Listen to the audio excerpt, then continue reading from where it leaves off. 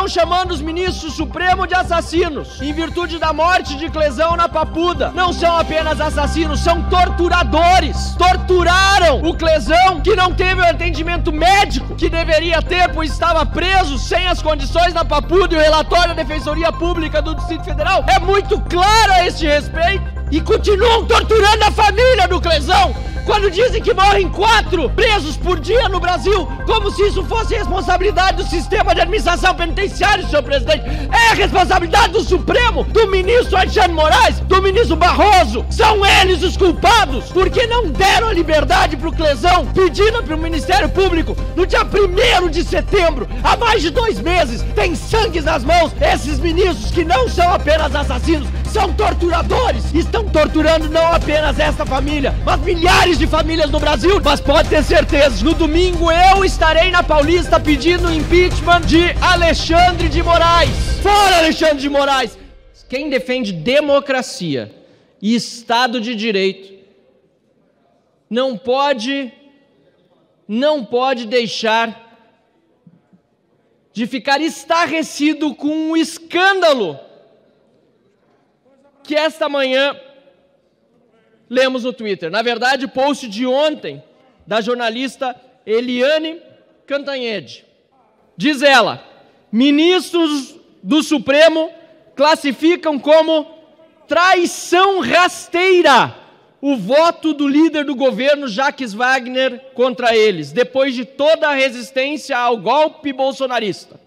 O recado é, abre aspas, ou o Jacques Wagner sai, ou não tem mais papo do STF com o Planalto e o governo. Deputado Chico Alencar, faltou só dizerem que não teria mais diálogo cabuloso entre o STF e o governo do PT. Isso é um absurdo. Vossa Excelência, aliás, faz questão de dialogar e falamos bastante pelos corredores, mesmo tendo ideologias tão diversas, tem uma experiência de anos de política, de mandatos. Não é possível que numa democracia, num Estado de direito, nós vejamos esse tipo de interferência de lado a lado entre executivo e judiciário, e pior, do judiciário querendo se impor sobre o executivo ou sobre o legislativo, como estamos vendo hoje. Não é possível que permaneçamos calados como instituição a esse respeito. O Senado fez, e fez muito bem, de começar a limitar, ainda que timidamente, os poderes desses abusadores da lei e do direito no Brasil. E o presidente Arthur Lira terá a responsabilidade e certamente assumirá o compromisso de pautar ainda este ano esta PEC, quando sair do Senado, porque já sai nos próximos dias, depois de aprovada em primeiro turno, reduzindo o poder de ministros do STF de darem decisões monocráticas. É inacreditável a chantagem do STF sobre um governo com o qual eu não concordo em nada. A chantagem do STF também sobre este parlamento a forma como o tribunal age politicamente, presidente, chantageando a todos, e a mídia divulgando isso como se fosse a coisa mais normal. Inaceitável.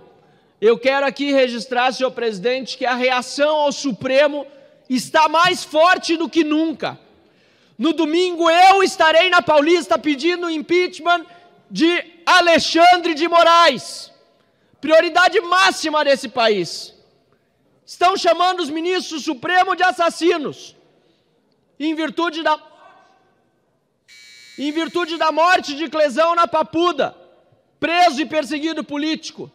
Não são apenas assassinos, são torturadores torturaram o Clesão, que não teve o atendimento médico que deveria ter, pois estava preso sem as condições da Papuda e o relatório da Defensoria Pública do Distrito Federal é muito claro a este respeito. E continuam torturando a família do Clesão, quando dizem que morrem quatro presos por dia no Brasil, como se isso fosse responsabilidade do sistema de administração penitenciária, senhor presidente. É responsabilidade do Supremo, do ministro Alexandre Moraes, do ministro Barroso. São eles os culpados, porque não deram a liberdade para o Clesão, pedida pelo Ministério Público no dia 1 de setembro, há mais de dois meses. Tem sangue nas mãos. Esses ministros que não são apenas assassinos, são torturadores, senhor presidente. Concluir, doutor torturadores estão torturando não apenas esta família, mas milhares de famílias no Brasil, deputado Bongás. E se o PT não se solidariza com a vida humana perdida, o PT não tem a menor condição de defender direitos humanos. Nunca teve. E agora fica ainda mais claro, senhor presidente. É triste ver essa chantagem sendo feita diante das nossas caras, diante das nossas vistas. Mas pode ter certeza, senhor ministro Alexandre de Moraes no próximo domingo, o Brasil estará nas ruas representado em todos que forem a Paulista às 14 horas, para dizer: fora Alexandre de Moraes, impeachment já, não aguentamos mais os abusos de autoridade, fora, fora, impeachment já, fora Alexandre de Moraes.